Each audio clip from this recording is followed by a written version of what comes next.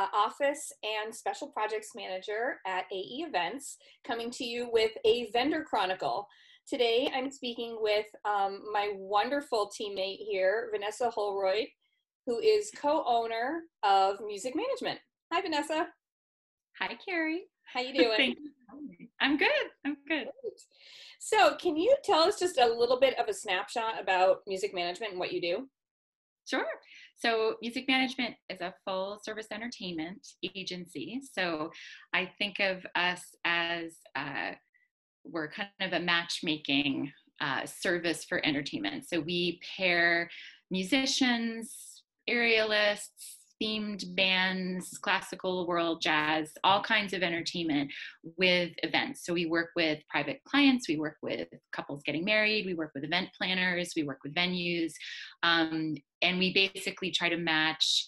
Uh, whatever entertainment is going to be most appropriate for the space and for the event. So we serve as kind of a, a go between handling all the logistics and uh, guiding clients through choosing uh, the best best music and also uh, vetting and developing talent and uh, researching and you know prepping artists for work in the hospitality and event industry. Wow. Um, it's a lot. That's a lot, a lot. Not just, you don't just book bands.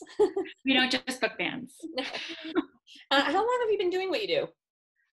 I have been doing this since 1998 which is when I moved to Boston after finishing a master's in flute performance in Montreal and was looking for a part time job. And I sort of fell into this company and into this industry. And however many years later, I'm still here and I've loved it. And it's evolved over time from me being uh, just sort of a part time office coordinator to now. Uh, you know, really loving and kind of falling in love with this whole commercial side of, of music. Um, so do you still play? I do. I still play really regularly. Uh, I've sort of developed a freelance career that's focused on chamber music. So I have a couple of uh, chamber ensembles that I play with, and I freelance with a bunch of different local orchestras, uh, mainly uh, a regular performer with Emmanuel Music in Boston and also subbing with, you know, I mean, we're so lucky to be in this area because there's, I mean, besides the Boston Symphony, there are just countless, countless opportunities to make really, really high level music, professional music making. So there's mostly classical. classical yeah, food. there's so much music, which is great. Um, and that's one of the reasons I personally love working with you is that I can trust you completely. Because I know you know what you're talking about. You're not just someone who likes music. You, you know, are extremely educated and play music all the time. Well, it goes both ways. One of the reasons I love working with you, especially and with all of your team, is I think you really are unique within Boston in your knowledge of music and understanding of how musicians uh, or how any entertainment professional um, what they need and how they work and what's you know we're always trying to marry the reality with a creative vision and you know so many things are possible. And i think between the two of us we've made a lot of amazing things possible but it's always trying to follow that you know walk that line. And and i've always felt that you've been so sensitive and um, respectful of of artists. That's the fun part for me in in large part is making it it's a whole it's not just a party it's a whole concept and that you know can entertainment can really be the starring part of that. And you and i have a crazy plan that we've put together that someday we will actually get to do. And i can't say it here but no but i'm i'm on it. I'm with you. Totally with you. It's gonna happen when people least expect coming. okay. Um, how does your clientele break down by market segment? I know you do a little bit of everything. Do you do more more social, more weddings? Do you do more corporate stuff? Um, I think it's a it's a pretty fair balance between social and corporate. I would say uh, maybe more social because it's not just weddings, but private parties, birthday parties, rehearsal dinners, graduation parties, you know, all of that kind of stuff. So if we take the aggregate of all the social stuff, it probably is a little bit more than corporate. But the corporate stuff we do is usually on a larger scale. So uh, you know, it kind of balances out because a corporate event might have you know five or six different components to it. Um, whereas a social you know it might just be a one-off. I mean everything from a solo pianist or solo guitarist to you know a huge band including ceremony you know reception yeah. rehearsal dinner everything. So I, if i broke it down just by uh, client type probably a little bit more social but it's it's everything with it with some public stuff in there. I mean we've definitely over the years and and continue to do um, you know some public events like music for boston wine festival and you know first fridays at the mfa and you know other things that are a little bit more concert series um, you know public regular music series aimed. Great. Um, what's your favorite part of an event? Take your hmm. pick social corporate nonprofit. What's your favorite bit? Um that's a really good question. I I think because I've always had a love of theater and um you know obviously haven't done theater professionally but like all through school i love like that kind of opening night when like you've done all the logistics you've made everything happen and you're nervous because you're hoping everything is happening but like right when things start and and hopefully it's all going well but it's like once things happen it's like when the curtain comes up and things are starting that to me is like you know i'm like oh you know you feel like you've somehow birthed this like incredible thing with the help of many people. And then from a purely like dorky nerdy side of things i have a very and my colleagues that i do wedding ceremonies with will attest to this.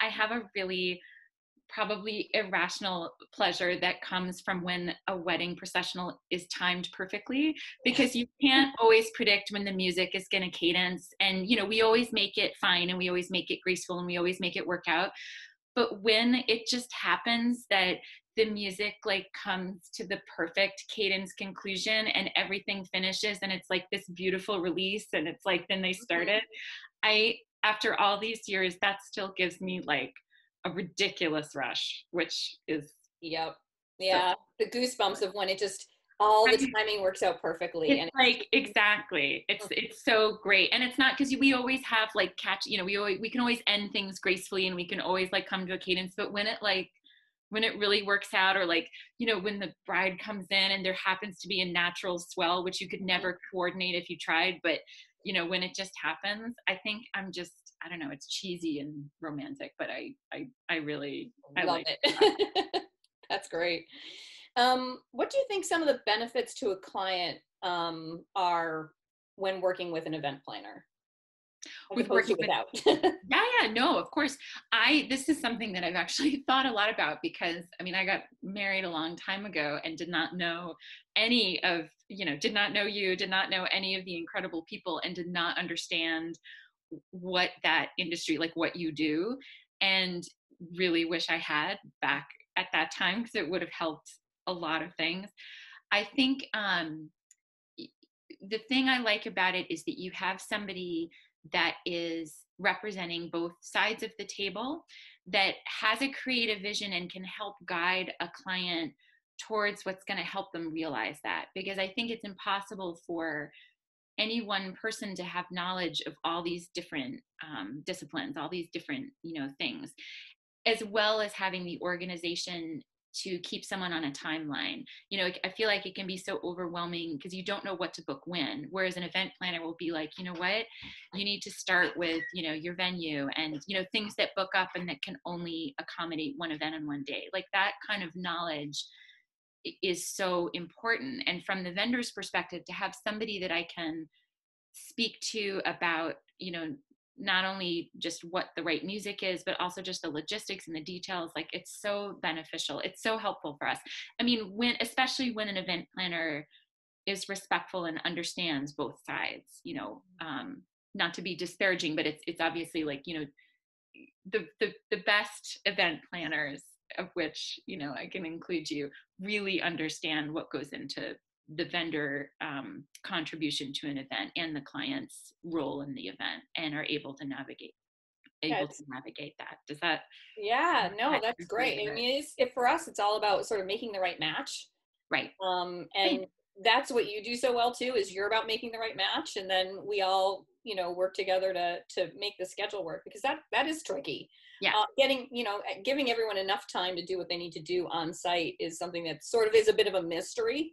Mm-hmm. to people that aren't in the industry. So, and that's one of the things that we love about working with you guys is that we're really able to create that symbiosis and we, we almost have a shorthand now which is nice yeah which is great which is really great um have you ever found yourself doing the old joan rivers what are you wearing with guests i i was trying to like figure out how to answer it like i i'm not sure this is really i mean obviously know joan rivers and i know that whole thing but i I don't understand. Like, do you mean like as far as like what are you? Who are you I, wearing? I, or do you just find yourself mentally critiquing? Oh, you mean like oh, like literally what are they wearing? Like at the oh, totally. Like, isn't that awful? I mean, that's part of the fun, right? Isn't it? No, I don't know it if I can little. say that. Yeah. It is, but but like in the best way. Like especially because you know a lot of times when i'm on site it's for a wedding and it's for you know these are very formal beautiful weddings and i love see it is like a red carpet because you mm-hmm. can see all of these amazing dresses and you know i do find myself doing that. I find myself like redoing my own wedding like over and over again kind of being like ooh like maybe we do that or maybe you know that i don't know. I do. i find now i do that I find it fascinating. But like I I don't want to make it seem like people are up there judging. It's more just like oh. In, no, in, and mostly it's like, ooh, I love what she's wearing. I wish I could wear that. like nine times out of ten, exactly. I was like, that would not, that would not work. So, so one last question for you: um, What's the one thing that you're really looking forward to um, being able to do, hopefully shortly? You haven't been able to do lately. I think the most the thing I am looking forward to most is playing, well, as a performer, is playing with other people. Mm-hmm. Absolutely. I miss playing with my colleagues. I miss playing for audiences. Um, making music in real time next to people has a certain energy that just can't be recreated anywhere else. And from a from a music management perspective, I miss being able to provide work for musicians. I mean, I, I miss being able to be at events and know that, you know, something can happen to be able to be on site. I, I miss that process. You know, yeah. I just, I'm really looking forward to being able to call up a band and be like, I have a booking for you. You know, it's it's on this date or whatever. Yeah. I don't know. I'm, I'm deliver that good news and, and, and have them enjoy it. Yeah, exactly. Well, thanks so much, Vanessa, for joining us. Um, Thank you for asking. Yeah. And we'll talk to you soon and we'll hopefully see you soon. I hope so. I hope so. And good luck with everything. You're, yeah, we'll all come through this one way or another. We sure will. Thanks.